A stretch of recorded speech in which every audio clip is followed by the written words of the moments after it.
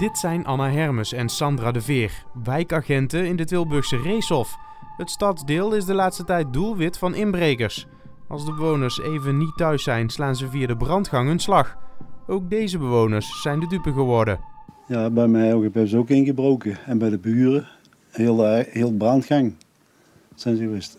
En wat hebben ze bij u meegenomen? Lood van het dak gehaald en het slot eh, vernield, is cilinder uitgeboord. Ja, ze hebben van zo'n zonnig op maandag hebben ze hier ingebroken. Hebben twee scooters weggehaald. Dus eh, ja, En hoe, kwamen ze, hoe zijn ze binnengekomen? Ehm, ze hebben het eh, slot, eh, slotplaat hebben ze omgebogen en het eh, cilinderslot hebben ze eh, kapot gebroken. En zo hebben ze binnen kunnen komen. Hier heeft het zich nog beperkt tot inbraken in schuurtjes en bergingen. Maar soms gaan de dieven een stapje verder. We hebben ook weer een aantal woninginbraken gehad. Nou, dat is ook de reden dat we nu dus eh, extra surveilleren, want we hebben die daders nog niet te pakken. Dus we vragen de mensen ook om extra alert te zijn. En mensen die op vakantie gaan, ja, daar hebben we toch nog wel een aantal eh, tips voor. Laat in ieder geval eh, een bewoonde indruk achter. Klinkt als een cliché en toch zien we nog steeds eh, dat de brievenbussen overvol eh, zijn. En dat je heel goed kunt zien aan de buitenkant eh, ja, dat er al dagenlang niemand thuis komt. Dus zorg dat de buren af en toe de post weghalen. Haal alle klimmaterialen weg. Dus een container of een ladder in ieder geval in het schuurtje zetten en het schuurtje op slot. Eh, ja, dat kan toch een heleboel ellende besparen als je terug bent van vakantie. De wijkagenten zijn daarom volop aan het surveilleren. Nou, we letten eigenlijk met name nu of poortjes afgesloten zijn of niet. En ja, als een poortje niet afgesloten is, wat doen jullie dan?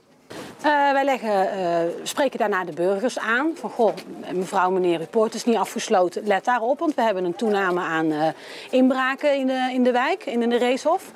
En als ze niet thuis zijn, dan leggen we een, een voetje weg. En dat is, is dan eigenlijk denkbeeldige voetafdruk van een, van een inbreker. Ja. Kijk, Kijk hier. deze is dus open. En een hond. En de hond moet even terug. Goedemiddag meneer. Wij zijn bezig met de controle en ik zie dat u, ik zie dat u uw eh, poortje open heeft staan. Ik neem aan dat u dat s'nachts wel afsluit. Ja, ja, dat, dat, dat- maar hij is Nee, nee, eh, nee, dingen- laten gewoon open, want dan kunnen ze gewoon binnen. Dan maken ze niks kapot. Oh zo. Nee, maar goed. Nee, maar dat wordt toch afgesloten. Oké. Goed, wij gaan weer verder. Oké. Dankjewel. Doei. Ook waarschuwt de politie over het gebruik van social media op vakantie. Er zijn steeds meer social media en niet alleen de ouders, maar ook de kinderen. Die gaan natuurlijk eh, via internet melden dat ze op vakantie zijn. Eh, soms worden zelfs foto's vanaf de vakantie eh, op hives gezet. Ja, dat maakt natuurlijk allemaal wel heel erg makkelijk voor woninginbrekers. Want dan weten ze precies waar ze moeten toeslaan. Dus dat soort informatie niet op internet zetten. Ook niet op je voicemail.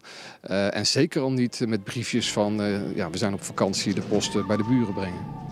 Wil je nog meer handige tips om inbraak zo goed mogelijk te voorkomen? Surf dan naar de site van de politie.